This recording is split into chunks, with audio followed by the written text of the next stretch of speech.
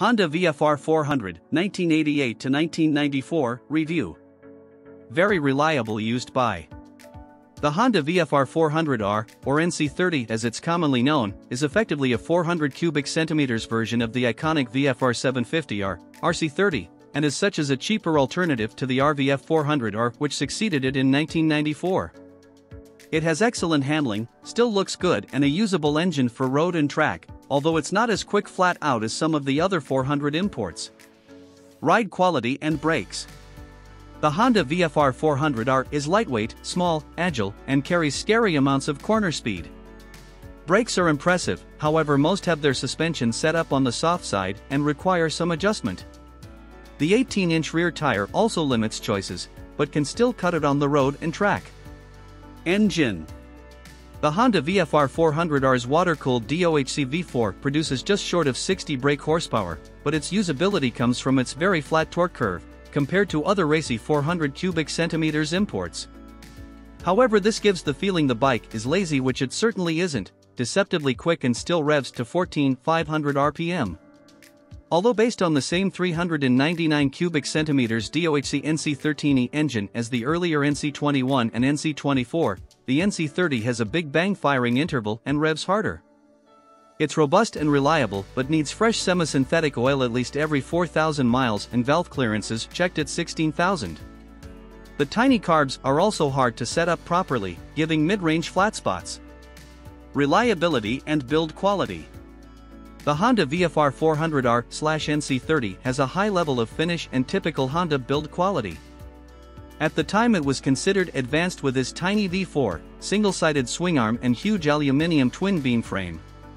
Engines have proven reliable as long as they remain standard and serviced, however tuned engines can have crank problems. Our Honda VFR 400 owners' reviews on the site are glowing, with nothing concerning about the bike's reliability. Value versus rivals. The Honda VFR 400R/NC30 always held its prices high due to desirability and ease of use. However, if you shop wisely, you can grab a bargain. It's an arguably iconic bike for around 2,000 pounds, and in many ways, it makes much more sense than its pricier brother, the RVF. Equipment the Honda VFR 400R comes with 41mm conventional adjustable forks compared to the inverted items you find on the later RVF 400/NC35. The single rear shock onto a single-sided swing arm is adjustable for preload and rebound only. There's just enough room under the seat for storing waterproofs. Specs Engine size 399 cubic centimeters. Engine type liquid cooled, 16V V4, 6 gears. Frame type aluminium twin beam. Fuel capacity 15 liters. Seat height 705 millimeters. Bike weight 175 kilograms. Front suspension 41 millimeters telescopic forks, preload and rebound adjust. Rear suspension single rear shock preload and rebound adjust. Front brake 2 by 296 millimeters discs, 4 piston calipers. Rear brake 220mm disc, single piston caliper. Front tire size 120/60x17. Rear tire size 150/60x18. MPG, costs and insurance. Average fuel consumption 40 miles per gallon.